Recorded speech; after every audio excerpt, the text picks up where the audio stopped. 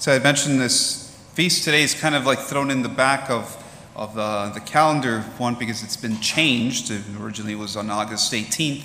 Now it's changed for today. Forget what day today is. 12. and so, uh, yeah, if, when you try to find it, you, you won't find it unless uh, you have a brand new uh, missal or a brand new uh, uh, uh, lectionary, which we don't have yet. And so uh, it's kind of thrown out. Like I said, you don't find it in the Spanish missal either. It's, uh, it's mentioned there, but it's not, uh, there, there is no proper mass. It doesn't have the propers in there. And so uh, it's found on the calendar for the United States. And I often like to celebrate the saints, especially, well, because there's so many of them, but we can learn so much uh, from their example. And especially St. Francis de Chantal, because being consecrated, siendo consagrados en la agrupación, tenemos mucho en común con la santa de hoy. La santa vivió en tiempo más o menos cuando coincidió la, compañía de Jesús y fue parte de un movimiento que ciertamente influyó San Ignacio y la, co- y la- y la fundación de la compañía de Jesús, pero un movimiento que ya llevaba un siglo antes de ella y ella en realidad, mm, bueno, tal vez heredó este modo, esta espiritualidad que empezó en lo que llamamos el Renacimiento y en realidad dio mucho fruto en el siglo XVI y hasta el XVII y, y el siglo XVIII. Un movimiento que se llama moderna devoción, o sea, la devoción moderna. La cosa extraña es que, bueno, moderna en los años 1400, 1500, pero se sigue el nombre moderna porque todavía es el movimiento de hoy día. Y si vamos a caracterizar lo que es la vida espiritual o, o- la vocación espiritual en la iglesia, hoy día todavía sigue las líneas de esta devoción moderna que empezó más de 500 años, hace más de 500 años. ¿Y qué era la devoción moderna? Bueno, en ese tiempo, en 1400, 1500, un movimiento que buscaba la perfección espiritual, la perfección en la vida espiritual, no solamente en la vida consagrada, o no solamente en la vida, bueno, de sacerdote, en el sacerdocio, pero bueno, en la vida cotidiana, en la vida actual. Y surgió, empezando en Holanda y luego por Alemania y bueno, por toda Europa especialmente, surgió un movimiento de laicos y también de laicas que no hicieron votos, pero vivían en un modo común parte del día.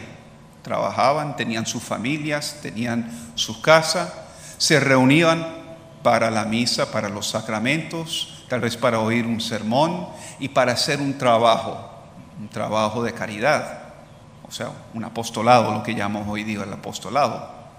Y de ahí se vivía un cierto vida espiritual, ah, muchas veces sin sacerdote. Ellos mismos en este momento se tienen que recordar que empezó el libro, o sea, ya la invención del libro y ya la Sagrada Escritura era accesible a, bueno, quien podía leer y quien podía tener, eh, eh, eh, comprar una de esas Biblias o parte de esa Sagrada Escritura. Y esos círculos se formaban para reflexionar sobre la Sagrada Escritura y llevarla a, cabo en la vida. Y bueno, al final del día uno iba otra vez a su casa. Poco a poco esas comunidades, algunos se dedicaban tanto que, bueno, renunciaban al matrimonio, renunciaban a la familia y vivían según esa carisma, esa espiritualidad, pero siempre sin tomar votos, sin ser ordenados. Saint Francis de Chantal es una de esas, porque ella parece que fue hija en una familia que pertenecía a uno de esos movimientos de devoción moderna. Aprendió ya en su casa de hacer obras de caridad, una oración bien personal, que a su momento ya de adulta lo llevó a cabo, terminó siendo huérfana muy, muy joven. Y en ese tiempo, bueno, era normal también casarse muy joven. Se casó bien a un varón de la nobleza en, Francia y, y de ahí siguió su obra de caridad, ahora empoderada pues, por la posición de su esposo. Tuvo seis hijos, tres murieron. Y, como era común en ese tiempo, su esposo también murió, creo que fue en una guerra. Entonces se quedó viuda, muy joven. Siguió esa obra y alrededor de ella empezó un seguimiento. Formó su círculo otra vez de estudio de la Sagrada Escritura, un círculo de apostolado de mujeres. No en realidad hicieron votos, siguieron una vida, siguieron una vida de apostolado común, de oración común. Luego se formalizó y se formó una orden, o sea, una, vida consagrada ya oficial con votos y todo. Pero ella sigue siendo ese ejemplo de lo que es pues, ser consagrada o consagrado en nuestro caso, sobre todo porque vivimos un modo muy semejante. Tenemos nuestra casa, nuestras familias, nuestro trabajo, pero tomamos ese tiempo cada vez de la semana para reunirnos, rezar lo que estamos haciendo aquí, escuchar la Sagrada Escritura, reflexionar sobre ello y también, bueno, vivir, ser un apostolado, buscar hacer esa voluntad y construir ese reino en la vida cotidiana. Las lecturas sí dan un paralelo a la vida matrimonial, que si uno piensa, bueno, la vida religiosa y la vida matrimonial parecen ser al contrario, pero no, en realidad son muy parecidos. Tanto que los religiosos o los consagrados también se dicen que se casan con Cristo mismo, se, casan con la iglesia. Y aquí tenemos en el libro de, de Siriaco, de, no, de Proverbios, pues el consejo de la buena esposa. La buena esposa que, se, que cuida a su esposo. ¿Y cómo lo hace? Bueno, no haciendo una lectura demasiado feminista hoy día. No es que, bueno, sirve nada más para trabajar y coser y nada más de eso, es lo que dice aquí, no. Pero si tomamos en lo que significa, recuerdo, estamos en proverbios, se debe tomar también en un modo simbólico, en un modo alegórico. ¿Qué hace con la lana y el material? Crea algo nuevo.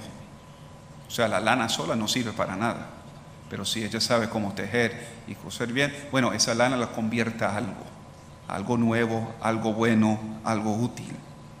Y cierto modo, muchas veces, esto es lo que digo las parejas en, en, en las misas de matrimonio, eso es lo que el sacramento del matrimonio hace, convierta algo, convierta al hombre. Si el hombre no se vuelve un hombre mejor por, por causa de su esposa, algo ahí no funciona. Y lo mismo, si la mujer no se vuelve una mujer mejor por su esposo, por su matrimonio, su familia, algo no va. Y ahí se ve la gracia lo que es el matrimonio. O sea, se convierte algo, se convierte dos personas a algo nuevo, una creación nueva ante Dios para hacer y realizar esa voluntad en el mundo. Se convierte lo que se da a algo nuevo en cierto modo también la vida consagrada sigue eso. Por eso se convierte una vida. Los consagrados, los, que estamos en la vida religiosa, muchas veces hablamos de la vida anterior. O sea, la vida que uno vivió antes de ser jesuita o, lo que sea. Y bueno, anterior porque ya ese hombre de cierto modo no existe, ya ese hombre de cierto modo no es, se convierta a otra cosa. Así que recordemos hoy también la vida consagrada a través del ejemplo de Saint eh, Jane Francis de Chantal, el ejemplo que ella da y también ese ejemplo que pueden dar los consagrados en el mundo, consagrados como los agrupados, consagrados como los religiosos en este mundo, un ejemplo que el mundo necesita, que tiene carencias hoy día. En el nombre del Padre, del Hijo y del Espíritu Santo. Amén.